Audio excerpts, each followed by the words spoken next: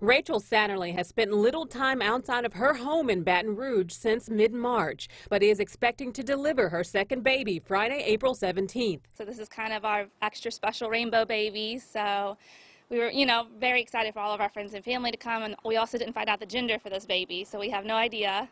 So that was kind of going to be the big moment. But it's a bit bittersweet as Women's Hospital and others across the state are limiting expectant moms to just one person with them during delivery, forcing Rachel to change up her plans.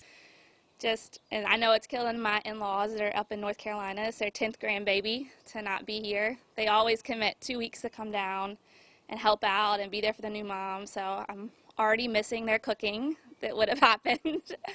As part of the new normal, Women's Hospital Dr. R. Clifton Moore says they're spending less time with patients in the office and more time with some of them online. Uh, in our offices, we're providing more of a telemedicine experience for the patient as opposed to uh, going into each room. New Lafayette mom Brittany Boatner recently gave birth to her preemie baby Jacob. She says with an already compromised immune system, she's even more cautious. The people that are germaphobes beforehand, they already have it locked down. But for, you know, anybody that wasn't consistently, you know, doing that on a regular, this is a heightened game. And as far as us being a NICU family now, it's definitely a hype game for us. Brittany says she's looking forward to the day when she's able to wrap her arms around her new bundle of joy.